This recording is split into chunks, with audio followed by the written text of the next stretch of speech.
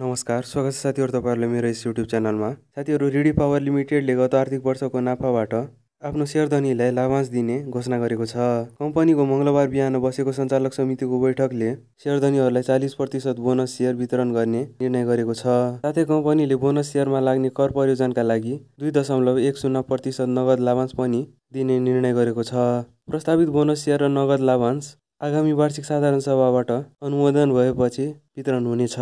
भने कम्पनीले हालसम्म क्लोजको मिति तोकेको छैन।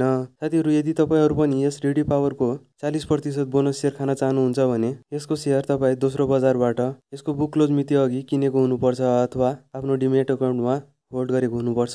त्यसै गरी साथीहरू, आइएमई जेनरल इन्सुरेन्सले आफ्नो सेयर धनीलाई छ दशमलव पाँच शून्य प्रतिशत बोनस सेयर र कर प्रयोजनका लागि शून्य दशमलव तिन चार प्रतिशत नगद लाभांश वितरण गर्ने निर्णय गरेको छ। प्रस्तावित बोनस सेयर आगामी साधारण सभाबाट अनुमोदन भइसकेपछि सेयरधनीहरूले पाउनेछन्।